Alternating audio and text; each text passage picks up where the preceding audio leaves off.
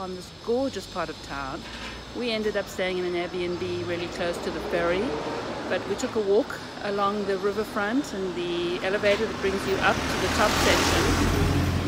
Excuse the noise.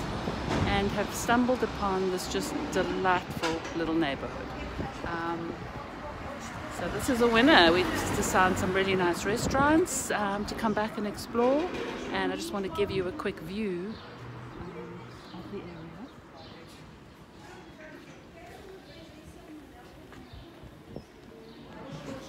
Bakery.